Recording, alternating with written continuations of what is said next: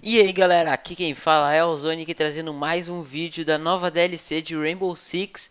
E o seguinte, há uns dias atrás teve um vídeo no canal falando das habilidades de cada operador Daquele operador que coloca câmeras no mapa e o que tem rifle com escudo, né? E eu também falei dos mapas, que podia ser num barco, na Casa Branca Mas era só o que eu achava, né, não tinha certeza de nada mas ontem ou ontem, se eu não me engano, um usuário do Reddit postou uns áudios no fórum. É esses daí que vocês vão ver agora, ó. Classroom. Classroom. Music room. Detention room.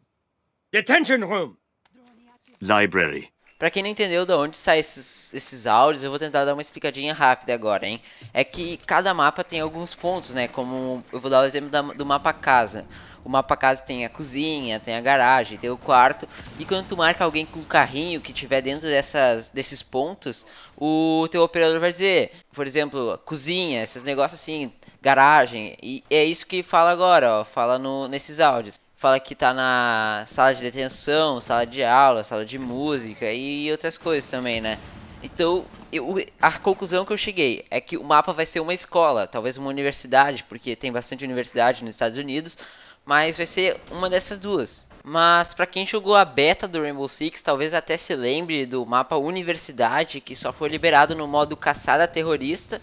E lembrando que no jogo completo não vê esse mapa, então talvez eles fizeram algum teste, algo assim na beta, e eles não gostaram do resultado, então decidiram tirar ele e trazer de volta em uma futura DLC, né? No caso, pode ser essa dos Estados Unidos.